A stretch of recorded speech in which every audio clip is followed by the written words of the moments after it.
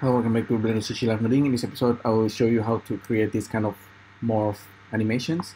And it's made really, really simple. Um, I'm not using any particles. This is just simply basically a shape keys that's being created using an, an add-on called Morphle. And with this add-on, we have a bunch of points that can be animated using shape keys. And on top of that, we can use um, geometry nodes to create a volume. So this is in Blender 2.93 alpha. And we sort of uh, can use a volume points to volume to mesh. So that uh, should be pretty easy. So let's uh, create something uh, like that very very quickly. Suzanne Torus uh, we just need a bunch of objects to morph into make something very quickly. B. S. So these just extrude it. And I think we can just bevel it a little bit Okay, so it's actually a good idea to also remesh the object beforehand.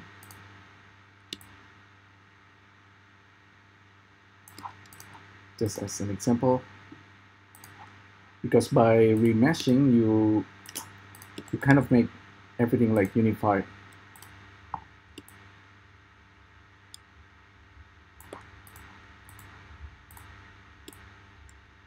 and we're gonna have a bunch of points to represent our geometry. Okay so let's save this very quickly. This is actually blender 2.92 because uh, this is gonna be official very soon. So more for demo. And at this point we just want to convert it into polygon so just apply all. This guy I cannot apply because it's a, a text object so I need to F3 convert object convert to mesh. Okay now each one of them is a polygon mesh so we can select all of them. And using this add-on Morphle we're gonna have a single object and with all the shape keys that we need. You might notice that, okay, the result is like pretty, pretty weird, right? Like, oh, okay. But how, well, we don't need to worry about that because we can simply um, use uh, geometry nodes to correct that. So let's save this as well. Switch to geometry nodes and create a new file open.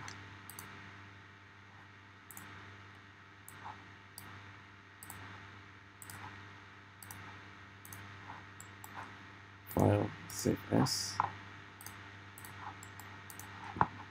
So with this guy selected,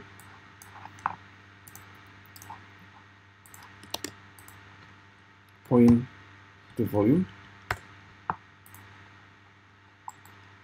We can adjust the radius, etc. And volume to mesh. So we get our Suzanne back. Okay, that's uh that's okay for the demo. So maybe this should be Suzanne, cylinder, Suzanne Torus, text, text number two. Okay, so that's the basic uh, idea. What uh, one thing that Morphle doesn't give is the control over the points itself. In this case, we are simply using the remesh points. Um, there's actually a there's actually a different ways we can do this. Oh, by the way, if you want to also randomize the scale of this radius, you can. I think we can do it this way.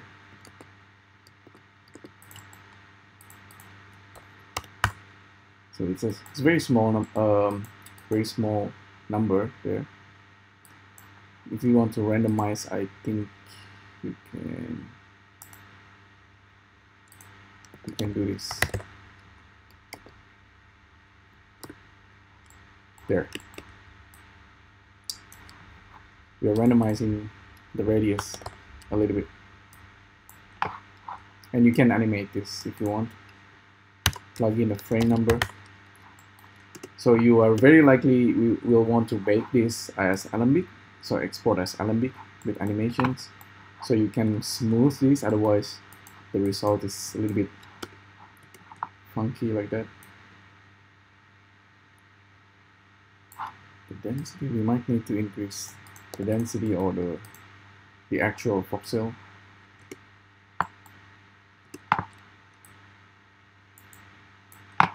So that's okay, it's a little bit bubbly, but you need to, um, you can perhaps just increase the size so you have less bubbly result. But you're gonna scale each one of the shapes. So that's one thing. If you really want to have control over the point scattering, you could use Sverchok nodes.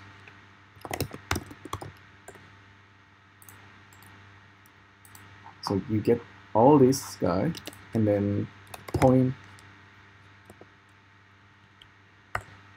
uh, create random points on mesh as on the surface or as a volume. So it's it's totally up to you.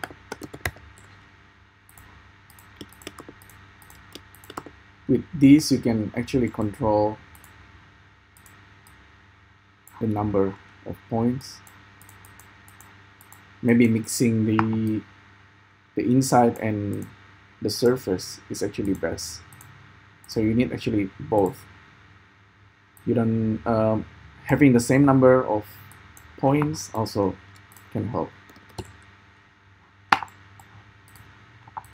So we're gonna have cylinder, Suzanne, donuts, and the text.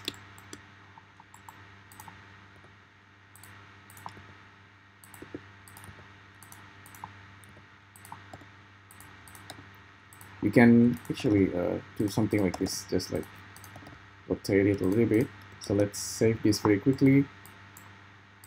Um, apply matrix. So this is like the second method. 1000 points. Randomize the seed. Um, yeah, you can also use the volume. I think this might actually works better. 2000 points. Okay, we will see. With all of this selected, let's try to Morphle. So this is Morphle number two.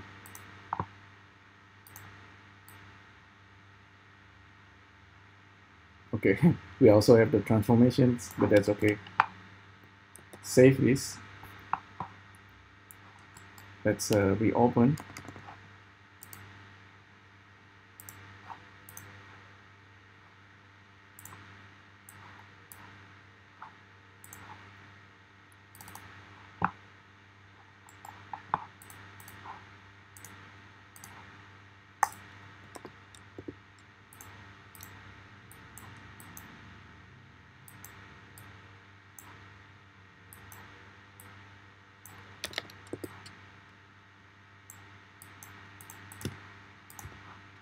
Okay.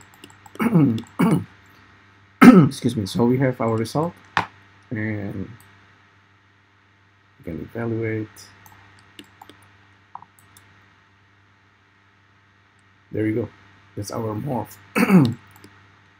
the okay, let's see. The so now the point is more scattered and we have control over the volume as well. a little bit better.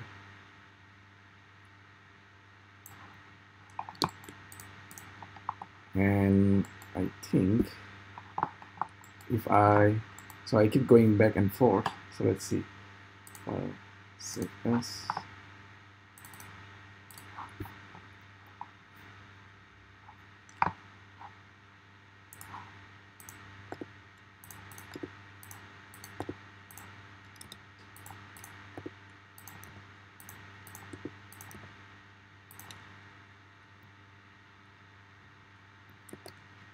date. So we have let's delete our current Morphle and then recreate them.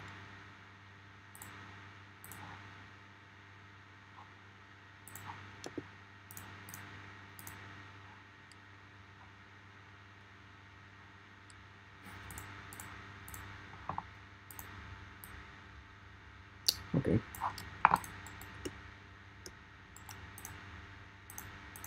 It's interesting. Oh, we have the S over there.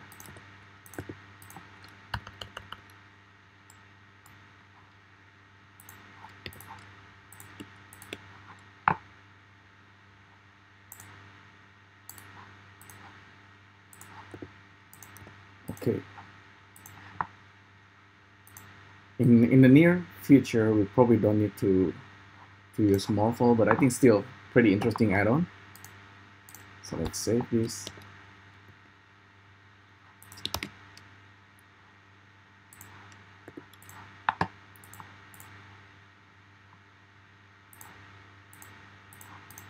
Just gonna copy this.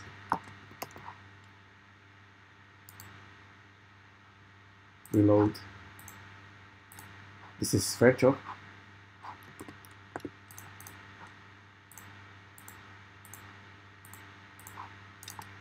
There you go. So this is the result.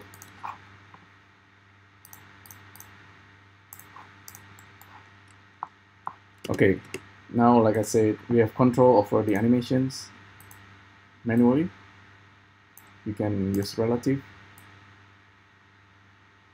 So S, box, Suzanne, donuts. I think this is quite nice back to geometry nodes. We still have control here.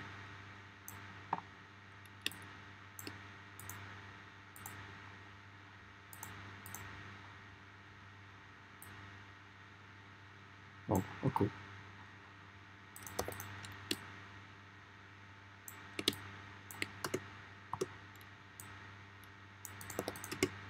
Interesting. Doesn't seem to update.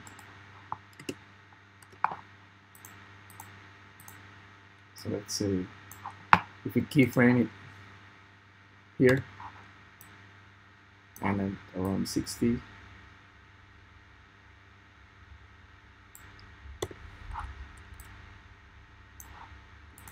and then you simply bake it out. Because currently you cannot actually smooth this unless you use another remesh. So file export. Alembic selected only.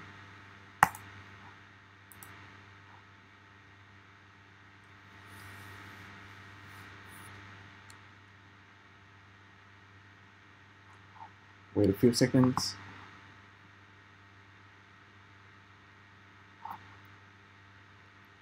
And I'm pretty sure I think with geometry nodes we can do similar example.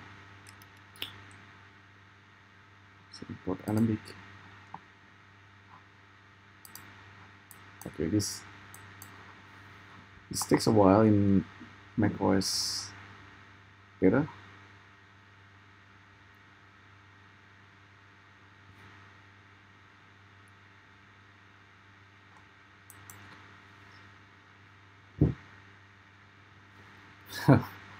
oh, he's checking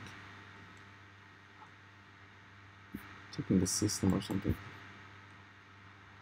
But anyway, just import the Alembic and you can use remesh and smooth it and you should get your animations um, baked properly. And I think it's, a really nice and quick way to create morphing, any kind of morphing animations. Ooh. Took a while. Okay, this should be uh, now real time. So like I said, still you still need to remesh it, but it's a lot it's a lot faster. You might actually want to bake this again as LND.